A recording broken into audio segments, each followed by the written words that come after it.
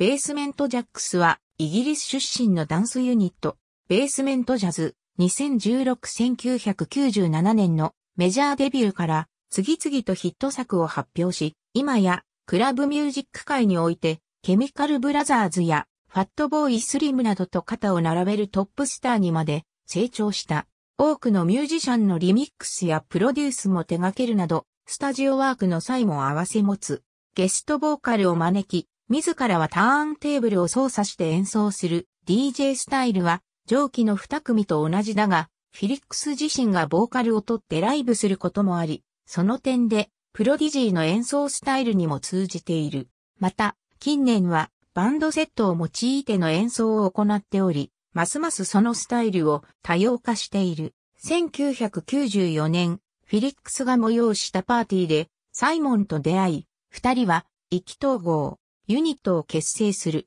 1995年、自主制作でリリースした Samba Magic が全米、全英のクラブで話題を呼び、クラブミュージック界期待の新人ユニットとして注目される EP フライライフが自主制作のリリースにもかかわらず全英トップ20入りのスマッシュヒットを記録した1997年、この年にクラブミュージック界から世界を席巻したプロディジー要する XL レコーディングスと契約。1999年に発表したデビューアルバム、レメディは全英チャート1位、アメリカのビルボードダンスチャート1位を記録。日本でもシングル、レッドアラートがラジオチャートの1位を記録した。翌2000年2月、新宿リックウィドリウムで単独ライブを行った。2001年リリースのセカンドアルバム、ルーティーではヒットシングル、ホエアズ・ユア・ヘッド・アットに代表されるように、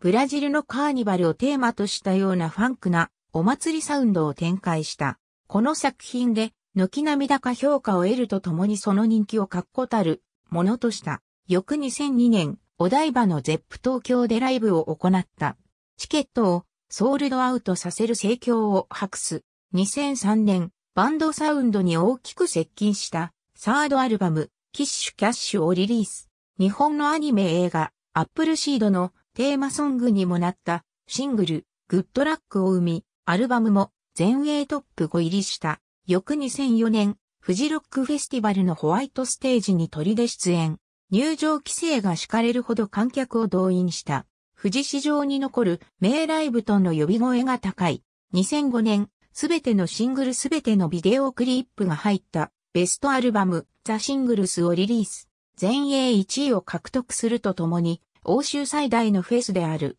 グラストンベリーフェスティバルのヘッドライナーを務める。さらにこの年のグラミー賞で、ベストエレクトロニカアルバムを受賞。名実ともにトップアーティストとなる。2006年には、ロビー・ウィリアムズとのコラボツアーを刊行。4枚目となる、クレイジー・イッチ・レディを9月にリリースし、単独の全英アリーナツアーを成功させるなど、絶頂期を迎えている。2009年、客演に、小野洋子らを迎え、前作より3年ぶりとなる5枚目のアルバム、スカーズをリリース。7月には5年ぶりにフジロックフェスティバルに出演し、グリーンステージのクロージングアクトを務めた。翌2010年、新木場スタジオコーストでライブを行った。2014年、前作より5年ぶりとなる6枚目のアルバム、フントをリリース。7月のフジロックフェスティバルのホワイトステージのヘッドライナーを務めたザードのプロミスというから差し替えて収録されている